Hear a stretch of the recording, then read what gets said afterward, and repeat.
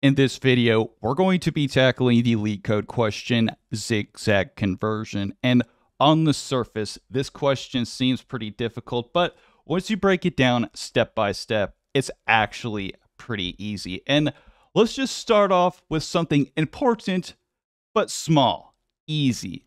We're going to be given a string, and we're also going to be given an integer. This string represents the string, the series of characters that you want to turn into a zigzag conversion. And the example that we always are given is PayPal is hiring. That is the example that everybody uses. And that's going to come in handy in just a second. So make sure to pay attention to that word. Also, we're going to be given the number of rows. And the number of rows is ironically important because without the number of rows, this question would be so fucking hard. So thank God they gave us the rows.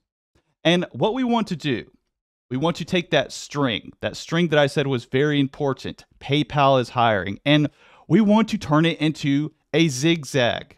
What exactly does that mean? Well, either physically or in a simulation, we're going to zigzag just like this through our string. And after we get done zigzagging, we're going to take all of those rows and we are going to add them one by one. So we're going to take the first row, the second row, and the third row. And we're going to turn it into one giant string that looks just like this. And if you don't see the correlation here, let me just get rid of the zigzag pattern here. So the final result result will be pan apple sig yer. And that's what the final string is supposed to look like.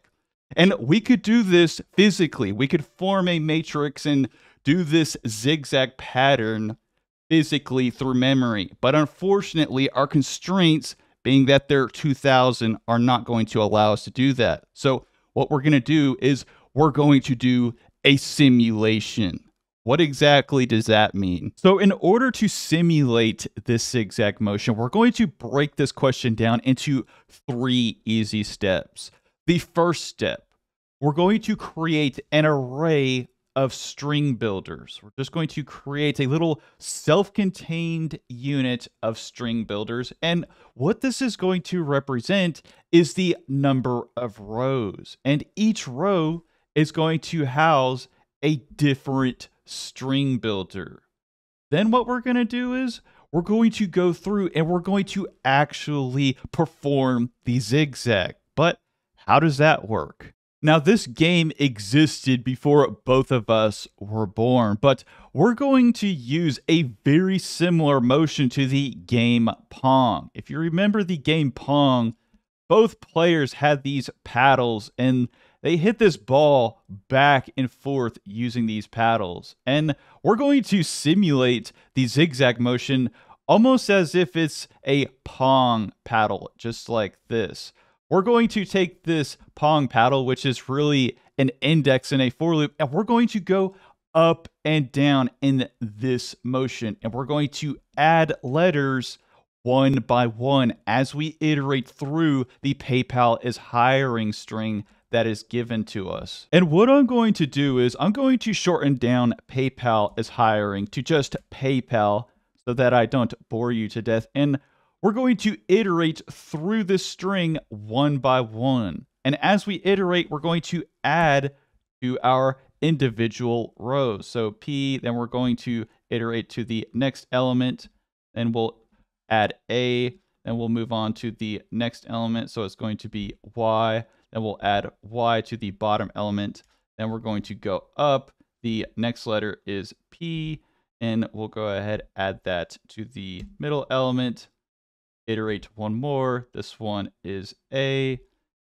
Go ahead, add A to the top row. Then what we're going to do is finally get to the middle row and we're going to add the L. Then finally what we're going to do is we're going to add all the rows. And it's a pretty simple step. So we'll add the first row, which is PA. We'll add the second row to the first row so that we get one giant string, so APL. And then finally, a Y. our final word will be Papley. What a wonderful word. So let's go ahead, let's hop over to IntelliJ and let's code this algorithm. So we are inside of IntelliJ and the first thing that I'm going to do is create a brand new Java class and I'm going to call this solution. Within the solution class, we're going to house our algorithm and this algorithm is going to return a string. We're going to name it convert and also it's going to take in a string called s and we're also going to take in the number of rows as an integer. So let's do a little bit of edge case checking. First, if the number of rows is equal to one, that means that it's just one word. So we're just going to return the word. Also, if the s dot length is less than the number of rows, it's also just going to be one row. And if it's just one row, all we have to do is return the string and not run the rest of the algorithm. So what we're going to do now is we're going to create our data structures. And remember, we're going to be building an array of string builders. This looks a little crazy, I'm not going to lie. But basically, this is an array with string builders inside of it. And this is going to save us a lot of memory instead of having a list. So what we're going to do is we're going to build all of those rows. And it's going to be pretty easy. We're just going to have our typical for loop. Then what we're going to do is we're going to turn this into a one-liner, and we're just going to take each individual row and just place a string builder right inside of it. We're also going to have a little bit of state, and this is going to govern how the Pong paddle goes up and down in the algorithm. And we're also going to have a Boolean that's going to track whether the Pong paddle is going up or down. And we're going to go ahead just set this to false. And finally, for the moment of truth, we're going to create the code that's going to add the letters to our rows in a Pong-like fashion, going up and down. And first, we have to process this string. We have to turn this string into a character array because we can't really do anything with it until it's an array. And once we get it processed, once we pull out each individual letter out of this string, what we're going to do is we're going to append it to the current row. The current row is currently zero in this case. The current row is the state that we set at the top. Then what we want to do is, in order to simulate this Pong motion that I'm talking about, we need to go up and down if we reach the top or the bottom row. That doesn't make much sense. Let me just explain it.